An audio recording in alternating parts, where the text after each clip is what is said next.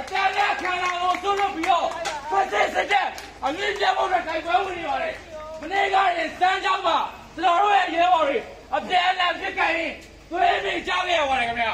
ဒီပါပြီဒီပါခင်ဗျာဆရာနာရှင်စရင်ဆိုဟာကျွန်တော်တို့ကိုချစ်တဲ့လူတွေနဲ့ဝက်ပေါ်စေဖို့အတွက်စံတီးနေပါတယ်ဒီဒုက္ခဆိုကနေလုံးမြောက်နိုင်ဖို့အတွက်ဒီပါပြည်သူများအနေနဲ့ဆရာနာရှင်စရင်ဆိုဘိုင်းဝတ်ကြောနိုင်ကြပါဒီတိုက်ပွဲဟာ လူတို့ရဲ့အနစ်နာခံမှုနဲ့ခြေသားမှာဖြစ်ပါတယ်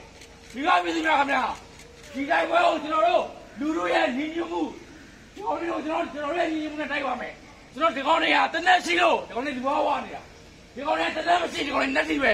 ဒီပါမသိပါခင်ဗျာကျွန်တော်ဒီတိုင်းဝဲကိုလူလူရဲ့ညီညွတ်မှုနဲ့ကျွန်တော်ရဲ့စိတ်နဲ့တိုက်အောင်ပါဒီပါမသိပါခင်ဗျာပတ်စစ်စစ်တဲ့အမြဲတမ်းပတ်စစ်စစ်တဲ့အအမြဲပြတ်ပတ်စစ်စစ်တဲ့အအမြဲပြတ်ဇေရော